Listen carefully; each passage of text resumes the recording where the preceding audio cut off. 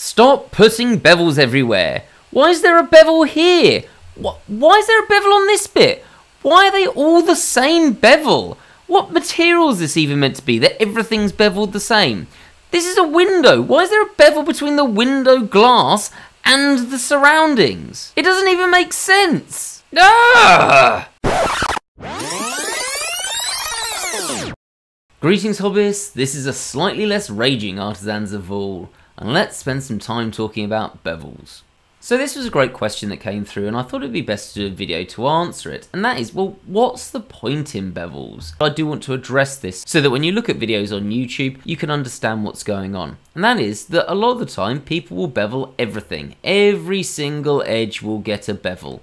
And you'll see this in YouTube videos and it's not that they're doing anything wrong, it's that they're doing this for a different purpose. So let's talk about that first purpose of beveling and why we don't necessarily want to do it for 3D printing, and then we'll get on to the other purpose. So I'm going to get rid of that bevel modifier, and we're going to have a look at this as it would be as standard. Now, I've got in my viewport shading the cavity turned on to help accentuate the edges, it makes things easier to model, but let's say I turn that off, and we get this a really difficult to see model where we're relying entirely on the lighting of different edges and it means that certain edges are very difficult to see like this undercut that was there this one there, it's really, really tricky to work out what's going on. And this is why bevels get used a lot of the time, but this is for CG work. Things for computer graphics or rendering, effectively where you don't have the option of adding a cavity. And the reason people add a bevel there is because naturally, in real life, all objects have some sort of bevel, be it very large or be it very small, depending on what's going on. If we have a look at this picture,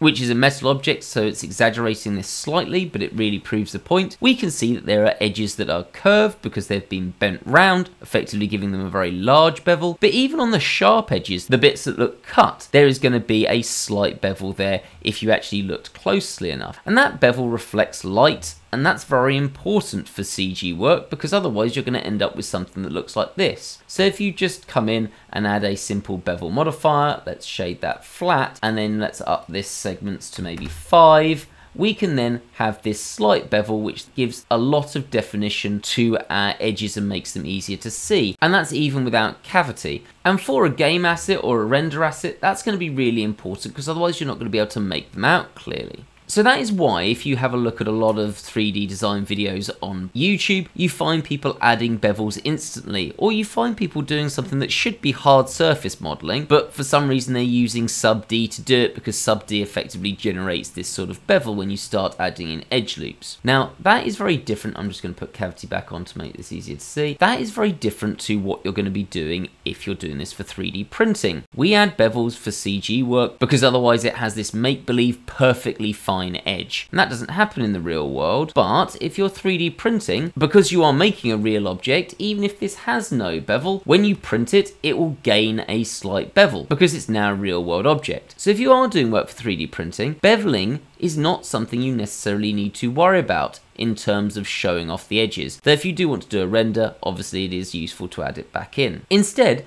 beveling takes on another purpose, which also can be true of CG work as well, and that is to try and accentuate and add to the shapes to make them more interesting, but also to be able to give some idea of what material they're being made out of. It also gives an idea of size and weight.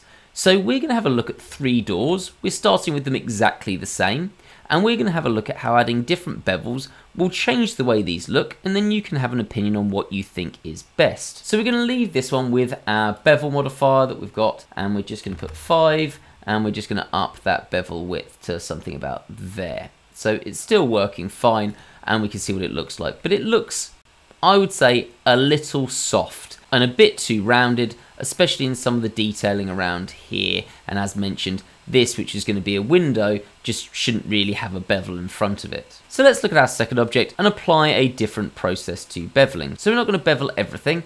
Instead, I'm going to go into edge mode and I'm just going to select these outer edges here because I want to add some weight to this. I want it to look more like a chunky and machined bit of metal, being that this is something like an airlock door or a door for a bunker. So instead what I'm going to do is press Ctrl and B Scroll down so we've got a single chamfer. and I'm just going to make a chamfered edge around the outside. And you'll see already, even though this has got, well, more to it, and is actually taking away material, it looks a bit chunkier than our first object. It gives it a sense of weight because generally when you make larger objects like these doors, chamfers get added around the outside, well, for a variety of reasons. But for example, if this was a cast iron material, then that would need to be poured into a mould and having these sort of edges make it easier to pull out, which is why when you see really big doors, they'll have these sorts of shapes. Now we could add another bevel to this as well. So let's come in and go to edge mode again. And what we'll do is we'll just bevel these edges here. So the ones that are part of our corners of this door. So let's just add a bevel here. And instead of chamfering them, we're actually going to round these. I'm going to go up to, let's say, 16 for this. And I'm going to make them probably about that size. So we notice we're not doing them really small, we're giving them some decent width so they add to the form of our object. And hopefully you'll agree, this adds a really nice effect to it. It gives this hard edge still so we can tell that this is probably some sort of metal, but it helps add to this sense of weight.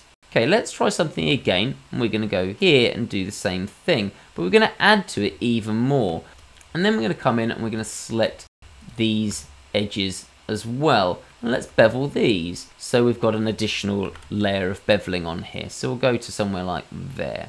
So now let's have a look at these and compare the two. In fact, I'm actually going to press Q and add a slight bevel here, but that's only just to make things easier to see. Again, this is why you sometimes add them for CG work, so things are easier to make out. And I want you to have an opinion on this. Which one do you think looks better of these three doors? The one where everything is beveled entirely the same, the one where we've got varying different bevels, including chamfers and then some wider bevels, and one where we have got a chamfer, but we've got more of these wider bevels being added to the different surfaces. Or there is a slight issue with that bevel here, but we're not really worried about that. But just good to point out that you do need to fix bevels as you're doing them. Now, I don't know about you, but for me, the central one is by far and away the better looking door. Obviously, we've got a lot more detail to add, but even though it's got less material to it, it feels more chunky than that, feels like it's got more weight to it, and that actually it's probably made of something like metal, whereas this one just looks like it doesn't really have a material to it. And you can notice that when you see certain science fiction designs, and even in computer games. Whereas this one, with our range of different bevel thicknesses and different segment mounts, looks much more interesting to the eye. It gives a better sense of a real, in inverted commas, object. And if you come over to this one, it just looks a bit too soft. It doesn't really look like anything that you'd expect to find in the real world. Maybe if this is some sci-fi future where you've got plasticky materials that are really hard, this could work, but it just doesn't feel right, and it definitely wouldn't feel right with these hard edges then on the inside, because it just doesn't seem to match up. So when you're going into a project, what I want you to think about is where are bevels actually adding to my design? Are they going to help to convey a sense of material and weight while adding visual interest, or are they something I'm doing just because I've seen on other videos that they are meant to be thrown on every single edge? And finally, just to come back to this one, do realise that we do want bevels of different sizes. If I came and let's say selected this edge here and decided to bevel it, which might look quite nice, trying to give exactly the same size bevel as the outside edge, or if I was to have done it at the same time, does not look as interesting as if I was to say do something like a smaller bevel, because it's an inside corner. So do also have a think about when you're beveling, and I do appreciate it takes longer, of not beveling every single edge in one go, but actually selecting different edges at different times so that you can control that bevel width. I just thought I'd add on this quick bit of gameplay from the game Darktide, and you can see here they do this really well. You've got some really interesting chamfers and bevels that really add to the sense of weight for these objects and make it seem the size that they should be. So something a bit more theoretical today. If you find these videos on theory interesting, do say something in the comments section. If you hate these videos on theory, also say something in the comments section. I take no offense and it helps me make the channel something that's going to help the most people. Have a great day, guys.